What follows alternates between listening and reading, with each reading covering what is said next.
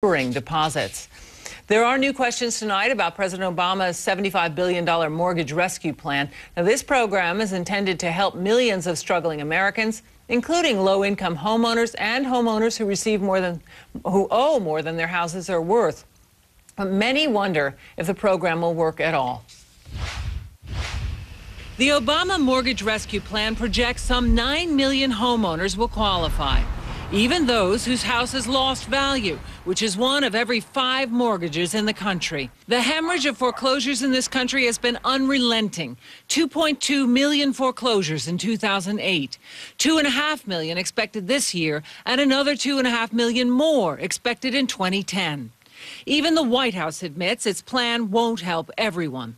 This isn't for somebody who, again, uh, may have some means but bought a house far larger than one uh, they could ever hope to afford. The plan rewards people that played by the rules and ensures that the system uh, can't continue to be gamed by people. The program, like previous government mortgage rescue plans, is voluntary. Few banks were willing to do mortgage workouts in the past, but this time around there are incentives. Banks will earn fees by offering loan modifications.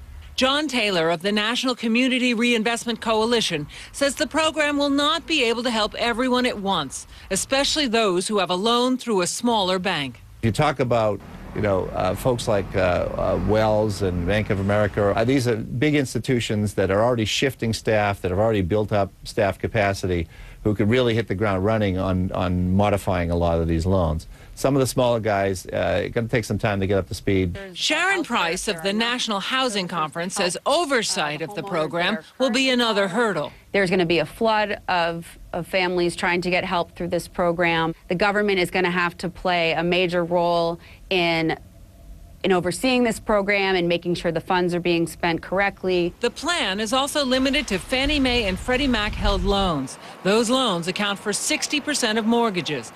But millions of homeowners will not qualify for the president's plan and will remain in dire straits.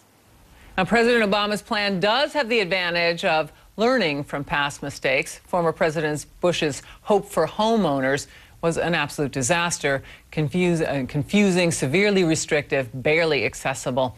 Joining me now for more on President Obama's mortgage plan, we're joined in Dallas by Richard Bitner, associate publisher of Housing Wire magazine. And Richard is also the author of the book Confessions of a Subprime Lender. In our D.C. Bureau, Kathleen Day of the Center for Responsible Lending joins us. And thank you both for being with us. Um, Richard, I'd like to get your assessment of this. Um, critics say it's not broad enough, and yet um, there are there are many points uh, about the way this is structured that seem very good. What's your assessment? Well, I think it is a mixed bag, and it's a great point, Kitty. I mean, one of the things that I really do like is that the administration kind of went in with its eyes wide open, meaning it understood that it had to compensate servicers uh, simply because, not because servicers haven't wanted to get involved in making modifications, it's simply been a practicality of the business. You know, the average servicing operation, you've got 500 loans to every uh, servicing agent, simply isn't built for mass modifications. Uh, the problem is, and this is the exact same thing, you know, I said when the Hope for Homeowners program was created back in late July when I came on this network you know, it is still largely a voluntary program. It is still largely a program that I don't know if it necessarily has